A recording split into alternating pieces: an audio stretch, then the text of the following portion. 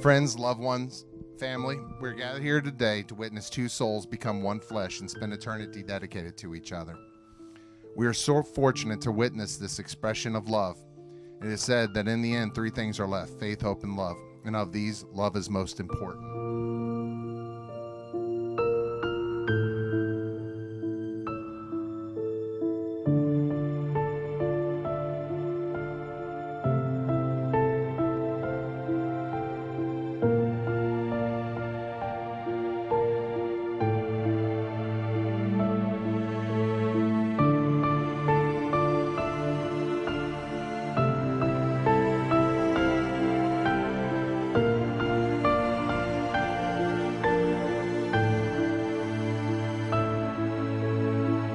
Hanya Maria, from the moment I first saw you, I knew you were the one that I wanted to share my life with.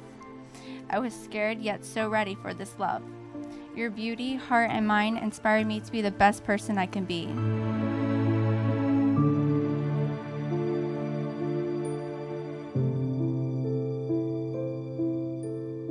Merzedes Lurie, since the day I asked you to marry me, I've had just about a million promises that I want to make you.